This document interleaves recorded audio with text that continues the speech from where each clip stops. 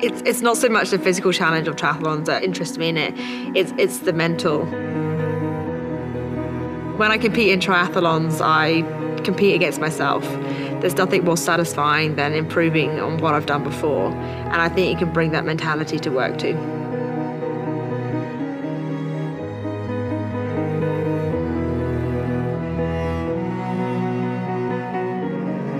Being being high energy is quite a natural response for me. I've always I've always been this way, and it's always great to see the impact that can have on the people you work around.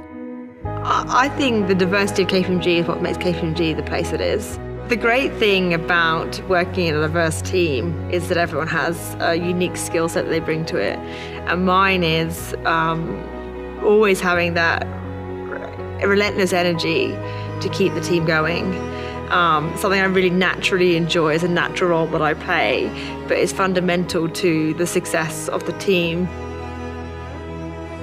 I think if you want to be a high performer in anything you do, you've got to bring your best. And a part of that is putting a game face on. Um, you know, if, if, I just landed off a flight and have a big meeting, game face time. Um, if I want to win what I'm doing, it, it's putting, it's game face time, and it's all about knowing what mode or person like personality or persona you've got to be in that day to get the best out of your performance, whether it's sport or it's work.